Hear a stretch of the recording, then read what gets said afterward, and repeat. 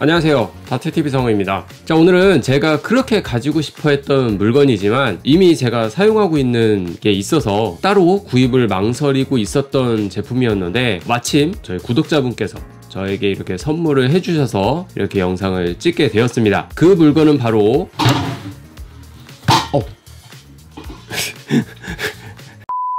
자 사이즈만 딱 보면 어떤 건지 이제 짐작이 가시죠? 스틸보드판을 어, 저희 구독자분께서 저에게 이렇게 선물로 직접 해외 사이트에서 주문을 해서 직배송으로 이렇게 보내주셨습니다. 이렇게 저에게 선물을 해주신 구독자 이장구님 다시 한번 정말 감사의 말씀 드립니다. 고맙습니다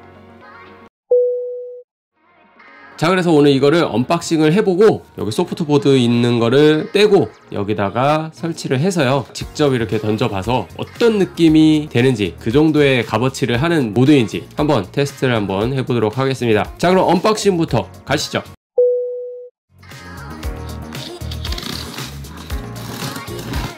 이게 해외 배송이다 보니까 테이핑이 엄청 많이 되어서 왔어요 유니콘이라고 이렇게 적혀 있어요. 이클립스 HD2를 저에게 보내주셨고요.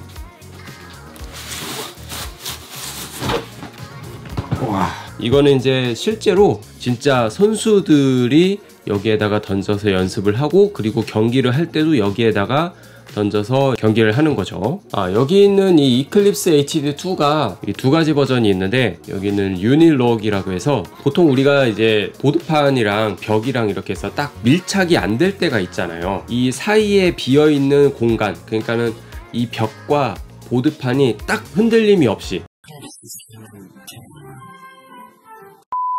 보통은 그냥 이렇게 종이 박스를 접어서 그냥 여기에다 끼워 넣든지 흔들리지 않게끔 이렇게 고정을 해주는데 여기 있는 유니록이라는 거를 이용을 하면은 고정이 가능하다는 거죠. 이 유니록이라는 것이 추가로 들어있는 버전으로 저에게 선물을 주셨어요. 자, 그래서 이걸 이제 오픈을 해보면,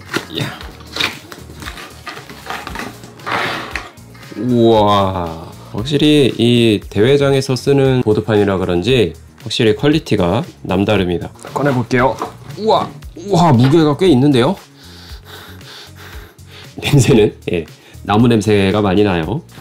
여기 유니록이 유니록이 이렇게 있어요 이렇게. 이게 이제 여기 보드판 뒤에다가 고정을 시켜 놓고 맞게끔 이렇게 딱 고정을 시켜 주는 거죠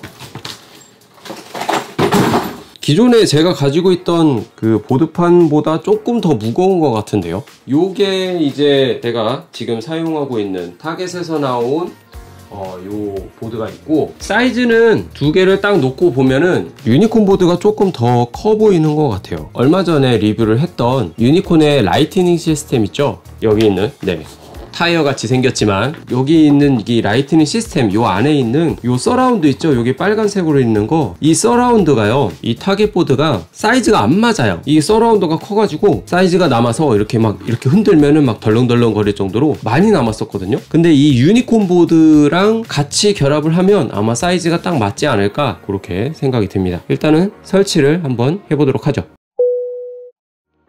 일단 여기 있는 소프트보드를 좀 빼고 여기 있는 나사들도 다 빼야 되거든요.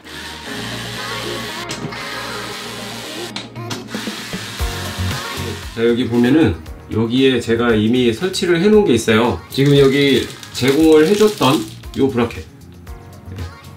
똑같이 생겼죠? 여기에다가 이제 걸면은 되는 겁니다. 요거를. 이게 걸었는데 확실히 아, 엄청 덜렁덜렁거리죠. 이거를 이제 유니록으로 해서 설치를 하면 돼요. 설치를 하려면은 일단은 이걸 빼야 되니까 다시 뺐다가.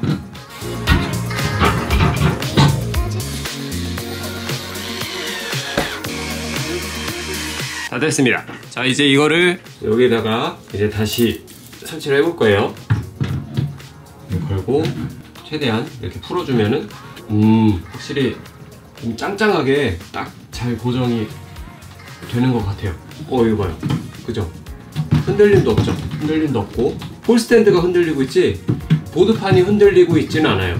자 그리고 어, 여기 있는 요 surround. Surround 겸 어, lightning 시스템. 요거를 여기다가 이제 설치를 해볼 겁니다. 오, 딱 맞아, 딱 맞아. 오히려 되게 좀 빡빡해요. 이야. 우와, 엄청 빡빡하게 들어간다.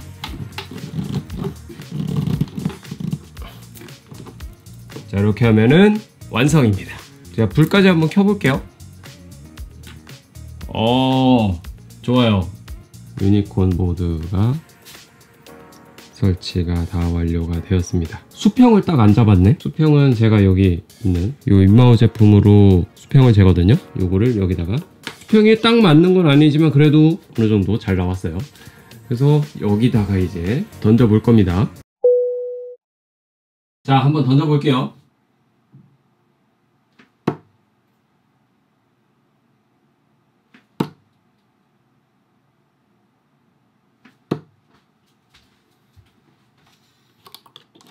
예, 확실히 조금 타겟 보드보다 단단한 것 같아요.